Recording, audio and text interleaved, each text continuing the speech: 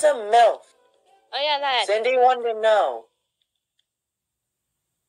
Why does she want to know? Why do you know? Cause red. Yeah, that's why I know. She doesn't know. And I don't want to explain it. I gave her an example, but she's kind of dumb. Don't tell her I said that. I heard that. Uh-uh. Uh huh. What example did you give her? Your mom?